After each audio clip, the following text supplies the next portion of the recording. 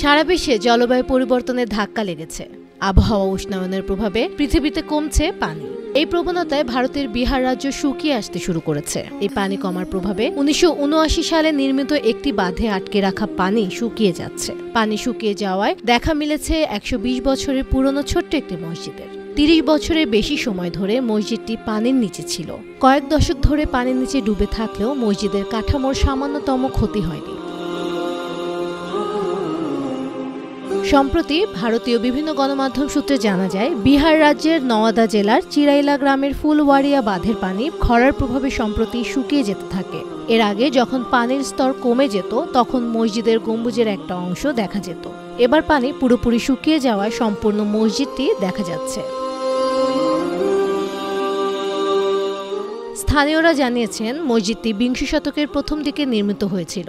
মুঘল রীতিতে নির্মিত মসজিদটির বয়স এখন প্রায় একশো বিশ বছর। এই মসজিদের নাম দেয়া হয়েছিল নুরি মসজিদ। মাটি থেকে গম্বুজ পর্যন্ত মসজিদটির উচ্চতা প্রায় তিরিশ ফুট। উনিশশো উনআশি সালে এখানে ফুলওয়ারিয়া ড্যাম নির্মাণ করা হয়। এ সময় এই এলাকায় প্রচুর মুসলমান বসবাস করতেন। এই মসজিদে তারা নামাজ আদায় করতেন। কিন্তু সরকার বাঁধ নির্মাণের জন্য পুরো এলাকাটি অধিগ্রহণ করে গ্রামবাসীকে অন্য একটি গ্রামে স্থানান্তর করে। বাঁধ নির্মাণের সময় প্রয়োজন না হয় কর্তৃপক্ষ মসজিদটির কোনো ক্ষতি করেনি। বাঁধের পানি শুকিয়ে গেলেও পুরো এলাকা কাদাযুক্ত হয়ে আছে। কৌতূহলী মুসলমানরা কাদা মারিয়ে মসজিদে প্রবেশ করছে। News desk Banu T